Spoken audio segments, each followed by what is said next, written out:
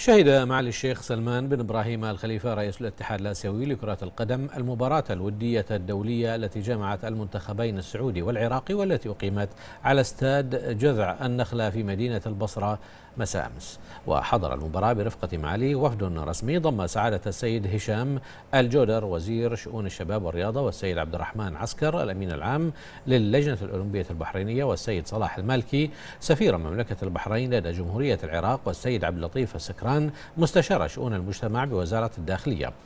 بالإضافة إلى عدد من المسؤولين في الاتحاد الآسيوي لكرة القدم.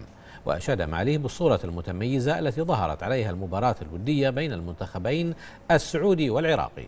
منوها بالتنظيم الرائع وحضور الجماهير الكبيرة في مشهد جميل يؤكد دور كرة القدم في تعزيز أواصر الألفة والمحبة بين الشعوب. وعقد رئيس الاتحاد الآسيوي لكرة القدم مؤتمرا صحفيا على هامش زيارته لمدينة البصرة.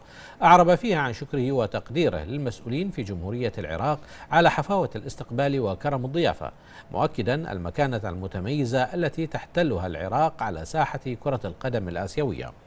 وأكد معاليه دعم الاتحاد الآسيوي للمطالب العراقية برفع الحظر الدولي المفروض على إقامة المباريات الدولية في العراق مبديا إعجابه بالنجاح العراقي في احتضان العديد من المباريات الدولية الودية خلال الشهور القليلة الماضية الذي يعد خطوة إيجابية على طريق التواصل لرفع الحظر بصفة كاملة.